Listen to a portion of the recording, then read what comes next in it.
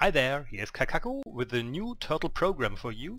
This time it's a more functional one for building a mob farm. The program is, yeah, let's say very powerful, especially early in the game, as you can use it on plain turtles, as you see here. There are no tools attached to this turtle.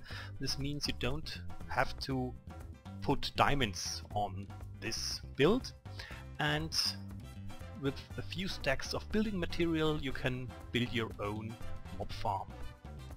The turtle will set up the complete farm including torches, sets up the water streams and even if you want to uh, puts on some ladders to the roof of the mob farm.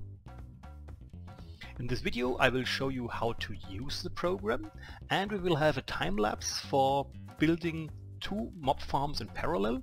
The one will be a standard cobble version and the other one uses more fancy blocks and also some of the options that are included in the program. Okay. So here we've got the already prepared turtle for the fancy mob farm and here we built everything from the scratch. I prepared this work table for this.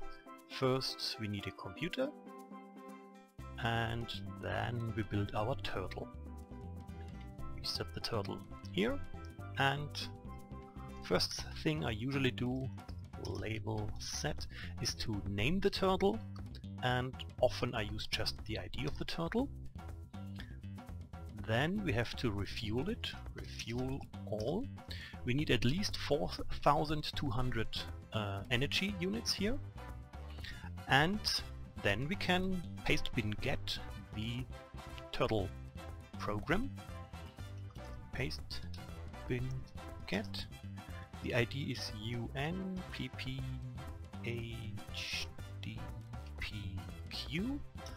and the name of the program is build mob farm. Okay, now it's ready and we execute the program build mob farm. Um, the info screens are split up on four pages. Uh, the important one is the first. All you have to know about the standard basic mob farm is here. All everything, uh, the, the rest is optional. Okay, with this turtle we will build the standard uh, mob farm, so we follow just these instructions and it says slot number 1 to 11 cobble, each a full stack.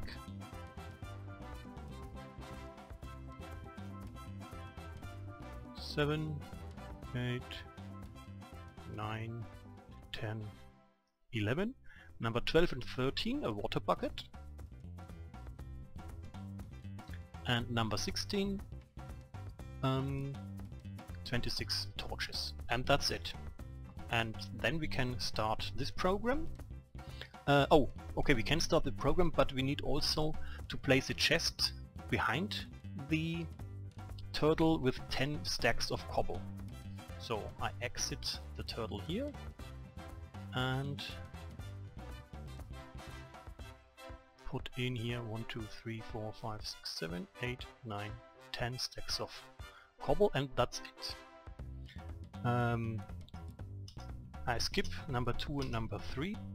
It says if you don't have enough of one block type you may use also any other full stack of opaque blocks as replacement. This means uh, not, not glass or something like this. And you can exchange those stacks, full stacks, uh, in the turtle or also in the chest. And uh, by doing this you may find out one or two of the hidden decorative um, options.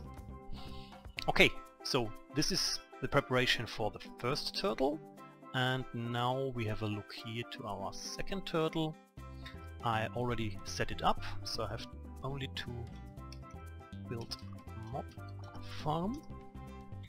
Uh, here you see I've added additional material. Let's have a look on page 2 of the description. We have three separate options. We have option A, explosion protection.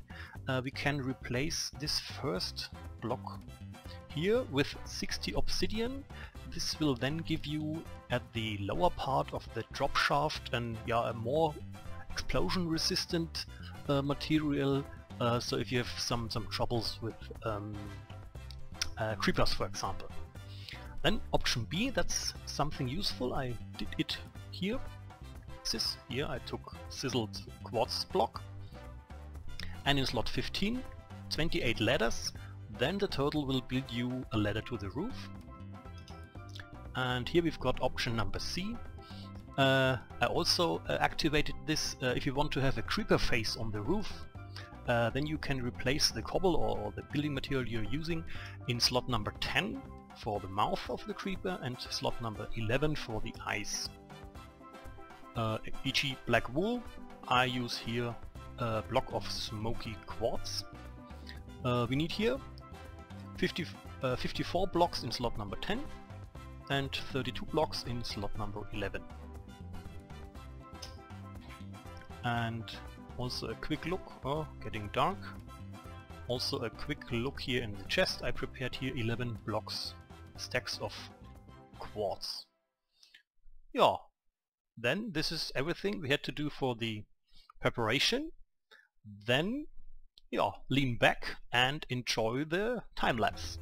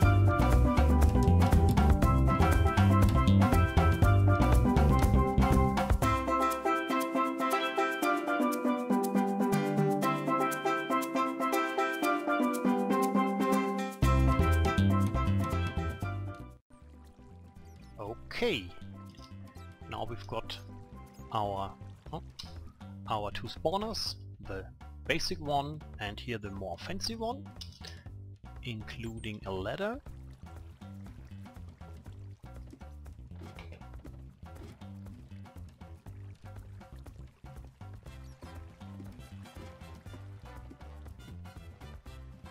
And the turtle also returns the remaining building material in the chests. Uh, well, you won't get so much as this here. Uh, maybe you've seen it during the time lapse. I, I yeah played too much with this turtle, uh, so I, I uh, brought the program a bit. Uh, I confused it a bit, uh, so I had to replace some of the blocks. so well, you shouldn't mess it up, mess like this with your your turtle during the building. also here we've got remaining materials.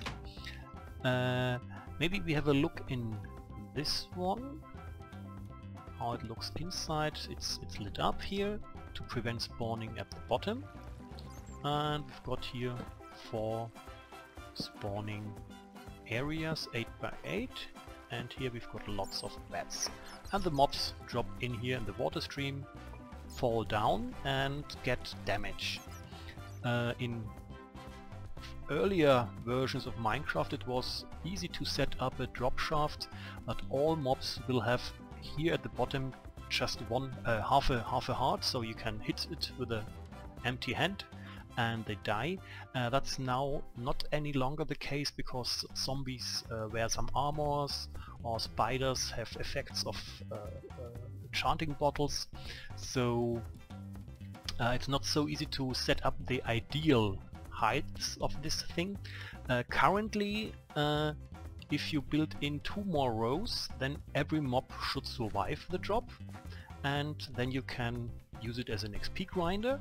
If you dig the hole even deeper, uh, then you can make sure uh, that every yeah, but but you will need some some more layers.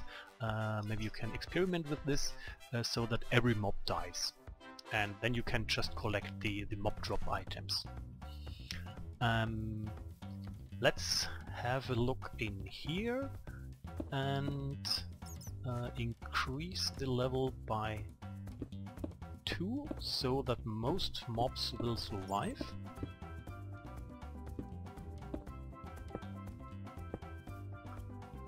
And I think I also put in here a fence.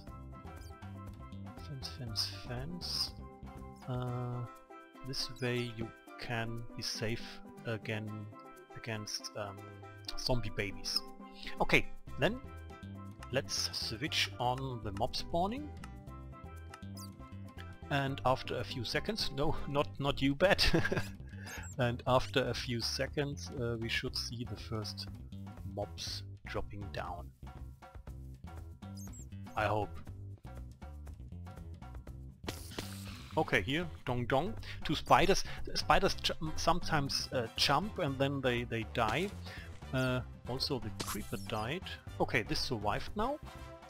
Uh, when a mob before dropping down uh, jumps, then it, it, gets some additional damage, but uh, all of them that are not jumping uh, should survive the drop, and then you can kill them with a single hit. Uh, maybe you can experiment with this uh, level, whether you want them to stay alive uh, more certainly or not. Um, well, that's up to, up to you, how, how you want to use this mob farm as a simple item grinder or also for, for XP grinding. Okay, then I think this was the introduction of this program. Uh, I hope you find it useful and well I think now getting experience in an early stage of the game uh, is probably a bit easier and you can use this as I said even without uh, the use of a diamond. Okay, then thank you for watching. Please hit the like button if you liked the video and I would also like if you subscribe to my channel and this way you stay informed about new programs and videos. We finish with a, of course, thanks for watching and a bye bye and a flight over my, well, the testing area for this uh, program. There was quite a lot of bug fixing and so on. Okay, see you soon. Bye bye.